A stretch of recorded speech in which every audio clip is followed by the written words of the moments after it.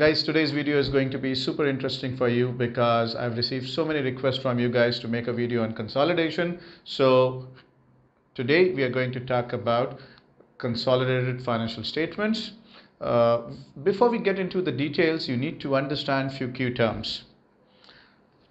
Number one consolidation means we are preparing group accounts.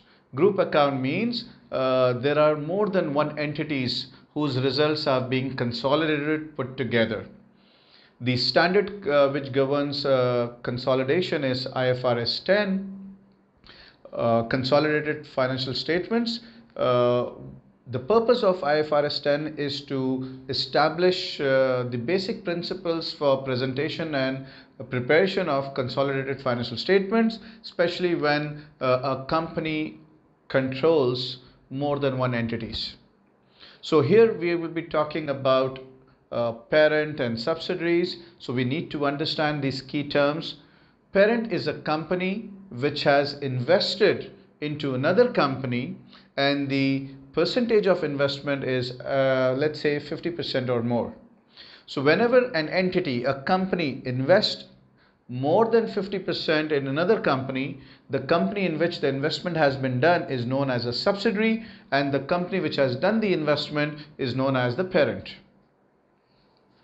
Now, there is a possibility that uh, the parent company has invested not 50 but somewhere between 20 to 50%. Now, this 20 to 50% when I'm talking about is investment or you can call it control means buying shares of a company which is around 20 to 50% of the total share capital. If that is the case, the investing company is not known as subsidiary, but it is known as an associate, which is dealt with IAS 28, uh, investment in associate and joint ventures. But if the investment is less than 20%, the other company where we are investing is just considered as an investment and it goes in our current assets. So our focus is on IFRS 10 consolidated financial statements. Here we got a simple question here where it says uh, Star purchased 100% share capital of Moon PLC. So this is Star Company, this is Moon PLC. Star Company is buying all the shares of Moon Company on January 1st, 2021 for 2.6 million cash. The statement of financial position of the two company immediately after acquisition is shown here. It means on January 1st, 2021, Star PLC is buying all the shares of Moon PLC. All right. And now what we have to do, because the parent has purchased 100% share capital of subsidiary, so uh, effectively it's one group, it's one entity.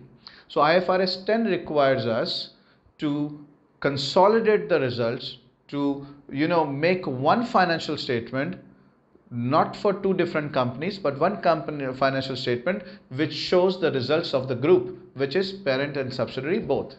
So what we need to look at here is first of all is what is the percentage of investment this is very important. In any question, you look at how many shares are purchased.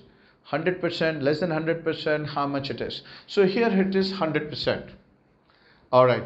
And the date of acquisition means the date of purchase of share is January 1st. And the financial statements which are given is also for January. Means as soon as the investment acquisition is done, the financial statements looks at the same on the same day. Means as the investment was done as the shares were purchased these financial statements are on the same date. So if you look very carefully all these amounts are actually three zeros are eliminated here. So that means this is 1.8 million. Three zeros are there. So if you notice 2.6 million has been paid for the equity of Moon Company. So this is exactly 2.6 and the parent is paying 2.6 for all the shares which means there is no question of goodwill.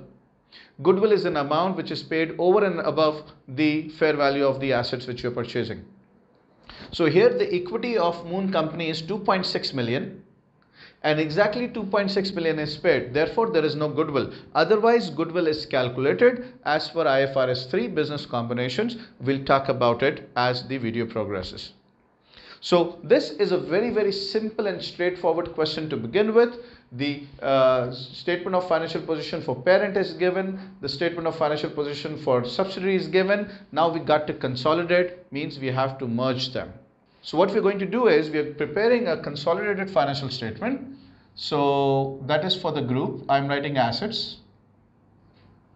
Assets, I will add property, plant and equipment for both. That's a golden rule. I'm writing property, plant and equipment. Take for parent 40,000 and for subsidiary 1800. So this will be 41,800. All right, please note this investment is cancelled out with the equity of the subsidiaries. It, it never comes in the consolidated financial statements. Let's talk about inventories. So in current assets, we have inventories 6,400 and 800 of subsidiary. So you add the inventories 7,200. We have receivables 5,350. So receivables for parent and subsidiaries would be added simple.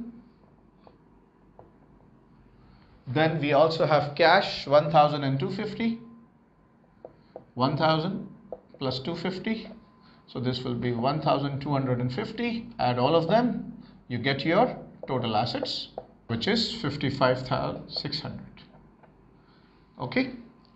Coming to equity side please remember whenever you're preparing consolidated statement of financial position when you come to equity take the share capital of parent 100% so i am writing here equities share capital i'm taking for parent which is 100% whatever is given in the question i'm taking that 10000 retained earnings of parent of parent 38900 all right we have accounts payable take for both. Payables 5000 for parent 2520 for subsidiary 5520 and we have taxes payable as well 1100 of parent 80 of subsidiary. So it's 1180 you add you get 55600 and that's all about. This is total equities, total assets. What you need to remember here is that the investment in subsidiary is cancelled out with the equity of subsidiary. Both these never enters the consolidated financial position. Now I'm taking you guys to the next example which is little more advanced. There are more elements in that. In the second example which I'm about to discuss, here we will talk about how to calculate goodwill, what are group reserves, how to calculate group reserves, what is non-controlling interest, how to calculate that, and then what if if the percentage of acquisition is not 100%, if it is a different percentage, uh, what impact and effect it has on our calculations. So let's talk about scenario two. Now guys, in this question, what we are looking at is uh, the investment is 75%. It's not 100%. Here, Delta company is purchasing 75% share capital of Celta on January 1st. When the when Celta's retained earning was 2 million, means at the date of acquisition, when the parent is purchasing 75% shares of the subsidiary, they already have a retained earning balance of 2 million. This retained earning balance at the date of acquisition is known as pre-acquisition. Means before the parent purchased the subsidiary, they already had some profit which totally belongs to them. Any profit earned after acquisition is known as post-acquisition and in post-acquisition, uh, parent will have 75% share and subsidiary will have the remaining 25% share. The other information here is the fair value of date of acquisition is 3 million. The fair value of NCI it says fair value of NCI, okay, which is 3 million. Now we need to understand what is NCI. NCI stands for non-controlling interest. In other words, if parent is buying 75% of subsidiary, the remaining 25% is known as non-controlling interest. Earlier it was known as minority interest. Why minority? Because 75% majority shares is with the parent, minority shares are with the subsidiary. But the latest word as per IFRS 10 is non-controlling interest. So now what is happening? Investment is given 12,000 which is what the parent has paid for 75% uh, investment other assets are given, share capital given for both, retain earning. Now please remember this retain earning is one year after the acquisition. At the date of acquisition, the subsidiary has retain earning of just 2 million. And after one year, it is 2.4, uh, 4.4 million. That means 2.4 million is the post acquisition retain earning. So here we need to see is there an element of goodwill? What is goodwill? Goodwill is an amount which is paid over and above the fair value of assets which you are purchasing. So goodwill is dealt with IFRS 3 business combination. So we need to see how goodwill is calculated. In this question, there is an element of goodwill. Let's have a look at it. So I am doing working number one, which is for goodwill. How do we begin with? We begin with consideration. Consideration is what we are paying. We are paying 12,000. Okay, we are buying subsidiary, we are paying 12,000 for that. You also add fair value of NCI at date of acquisition, which is given 3 million. So first thing with consideration, you add fair value of NCI at date of acquisition uh, this comes to 15,000 less net assets acquired. Now when we're talking about net assets we're talking about share capital of subsidiary. Share capital of subsidiary is 8000 and retain earnings at date of acquisition. Now retain earning at date of acquisition was 2 million so when you add these two, it is 10,000. And this amount is higher, means the worth of the as net asset which we are acquiring is 10, but actually we are paying 15. So the difference, 5,000, is known as goodwill. So this is a standard way of how to calculate goodwill. All always write the consideration means how much you're paying which is here you will see investment in Celta which is 12,000 then you look at the fair value of non-controlling interest at date of acquisition at the two and then compare it with the net assets of subsidiary at the date of acquisition. At the date of acquisition, the share capital of subsidiary was 8 and the retained earning was 2. So 8 into makes 10 and this is quite high. That means the difference is goodwill. The next step the next working is group reserves. What is group reserves? Group reserve means the reserves, the retained earning of parent as well as subsidiary. Okay, so we are looking at the group reserves. We are not looking at the 25% share of subsidiary that will come later, but let's see what is the reserves which are owned by the group. The best way to start this calculation which we are talking about group reserves. You can also call it group retained earnings. Both words are used. Always start with retained earnings of parent. Take 100% of that amount. See how much is the retained earning of parent which is 3000. So I'm taking 3000. Then we need post acquisition retained earnings. Parent share in post acquisition retained earning. Understand retained earning as of now is 4400 that is after one year. At the time of acquisition it was 2 million. So from 2 million now it has become 4.4. So from 4.4 million if we minus the pre-acquisition retained earning this is pre-acquisition retained earning okay we are left with 2.4 now this 2.4 is the post acquisition retained earning means the profit earned by the subsidiary after parent's acquisition. So if parent has acquired 75% of subsidiary, any profit they make after the date of acquisition, parent has 75% share in that. So this is the post acquisition retained earning and parent has 75% share in that which comes to 1800. So when you add, you get group retained earning as 4800 or you can call it group reserves. Group reserves. Next important calculation we need to do is the non-controlling interest. The amount of non-controlling interest which should be included in the consolidated statement of financial position. So this is, uh, I'm taking it as working three. Yeah, first one was goodwill, group reserves coming to working three which is NCI.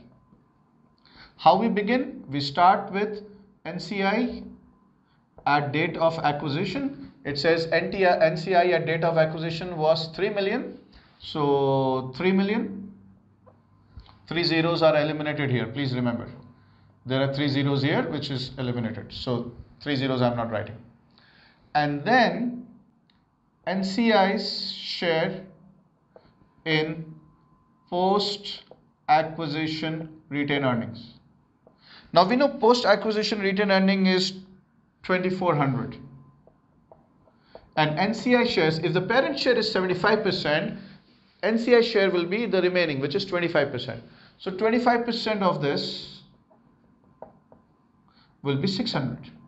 The NCI which comes in the consolidated financial statement is 3.6 million. After doing all these calculations, we are good to prepare the consolidated statement of financial position. Let's have a look at it, please. starting off with the assets uh, we have investment will never come as I told you this gets cancelled out with these okay so other assets yes other assets we have 21 and 18 400 so 21,000 plus 18,400 39 400 you get. All right we also calculated goodwill here. So that is an asset obviously. Goodwill as per working one which is 5000 we have no other assets. Other assets we have taken goodwill we have taken. So let's add this. This is 44400 this is your total assets. Coming to the equity section. Uh, share capital please remember always take for parent. As it is given here 20,000 so that is 20 then we move on to retain earnings and remember here we have to write the group reserves so group reserves which we calculated in working number 2 is 4800. So group reserve as per working number 2 is 4800. Then we also take into consideration the NCI, non-controlling interest, which is as per working 3 is 3.6. And in the end we have liabilities. Liabilities if you add this is 10 and 6 16 this is 16 so when you add all these you get 44,400 sorry now here you need to remember the assets and the liability shows what the group controls. What are the assets? The group controls. What is the liability? The group is liable to. The group. Not the parent not the subsidiary the group. And the equity section shows how much look how much belongs to the group how much belongs to the non-controlling interest so guys this was the second scenario. We're going to the third and last scenario in which there is a possibility that parents and subsidiary may trade with each other. There may be some intra-group balances. There could be an element of unrealized profit. Let's see what they are how they are calculated and how they affect the preparation of consolidated statement of financial position. So guys, in this third scenario, uh, what is happening is Alpha company is purchasing 60% shares of Beta. Uh, when it was formed, immediately it purchased and the statement of financial position as of December 31st, 2021 for both the companies are given here. Uh, property, plant and equipment 400 and 100. Investment in Beta is 12. Inventories for both is given. Receivable from Alpha. Now Beta has to receive from Alpha. That means Beta has sold some goods to Alpha. All right. Uh, they also have other receivables 192 for alpha and 58 for beta. These other receivables are outside the group. Likewise they have cash balances for both share capital for alpha and beta which is the parent and subsidiary. Retained earnings for both are given. Accounts payable alpha has alpha owes beta 60 and okay and others there are accounts payable for outside the group this much additional information which is given is fair value of NCI at date of acquisition was 8 beta sold goods to alpha valued at 24 with 25% margin. The goods are still in the closing stock of alpha. Now what is happening here? Yes we have parent and subsidiary. Obviously alpha is purchasing 60% share. So obviously the control and the investment is more than 50% that means alpha is the parent beta is a subsidiary. That's okay and parents and subsidiary can deal with each other. So if they can deal with each other, they can trade with each other. So there is a possibility that uh, if you look at this one, uh, beta has to receive from alpha and alpha has to pay beta. As per IFRS 10, consolidation of financial statement, intra-group balances are to be eliminated. So this 60,000 what alpha owes to beta and beta owes to alpha would be cancelled out and will not be shown in this consolidated statement of financial position. Number one.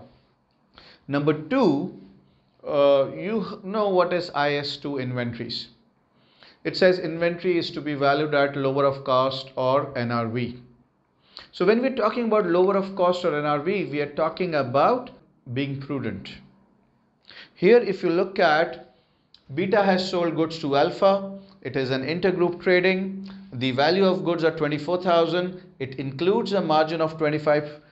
We need to understand that when we say profits or group profits, profits are what the group earns from outsiders, not from each other. Okay, so although Beta has sold goods to Alpha for 24, which includes a profit of 25, the goods are still in the closing stock of Alpha. So the group will only record and recognize profit once the goods are sold to outsiders. If the goods are still in the closing stock, we have to remove the unrealized profit. Unrealized profit means the profit is not realized until the goods are sold. Here we have to make an extra calculation for provision of unrealized profit and we have to carefully remove it from the group reserves and from the closing stock. So let's see how things are done here. Very first calculation, as always, we need to see if there is any goodwill. So let's have a look. So for goodwill, I'm just doing a calculation here just to ensure if it is there. Working one, goodwill. So we start with consideration. Consideration is how much we are paying. So it's very clear here, 12. All right. Do we have any fair value of NCI at date of acquisition? Yes. So fair value of NCI at date of acquisition always add here which is 8. It comes to 20. Now we need to see what was the retained earning of subsidiary at the date of acquisition. No information is given here. Normally it is given if it was if we had any pre-acquisition retained earning that's given. It's not. That means all these retained earnings which is given here for subsidiary is post acquisition so less net assets acquired. So that means if there was no pre-acquisition retained earning the only equity of retail subsidiary was 20 so 20 minus 20 will give me 0. So there is no goodwill. There is no goodwill. Okay. So I just confirm that there is no goodwill. The next step is group reserves or you can call it group retained earnings. Group reserves or group retained earnings, whatever. Always take the retained earnings of parent 100%. So retained earning of parent is 294 which I am taking here. Then let's talk about the post acquisition retained earnings. Post acquisition retained earning is 146 but you have to remove the provision for unrealized profit. Provision for unrealized profit if you look at the closing stock is 24 and it has 25% profit in it. So how much that comes to? 24 is the closing stock and it has 25% profit in this which is 6 that we have to remove. So it comes to 140. This is the post acquisition retained earnings. And mind you, parent has purchased 60%. So parent has a 60% share in this. 60% of this comes to 84. So when you add these two, it comes to 378. This is your group reserves. We also have need to calculate non-controlling interest. Now we need to look at fair value of non-controlling interest at date of acquisition, fair value of NCI at date of acquisition which is given as 8 and also NCI share in post acquisition post acquisition retained earnings. Now we know that the post acquisition retained earning is 140 and if 60% share is for parent 40% would be for NCI is 56 and this becomes 64 so NCI which enters in the consolidated statement of financial position will be 64 so let's prepare the consolidated statement of financial position. We start off with property plant and equipment. 400 plus 100 that will give you 500 investment I told you this cancels out with this okay? So this is not taken. Inventories very important. Please pay attention. Inventory we have 44 here 36 here. 44 for parent 36 for subsidiary. But from this we have to minus the provision for unrealized profit which is 6 so we minus 6 so that will 44 plus 30 that will be 76 then we have receivables. Please remember this 60 get cancelled out with the payable. Receivables and payables of parents are to be eliminated.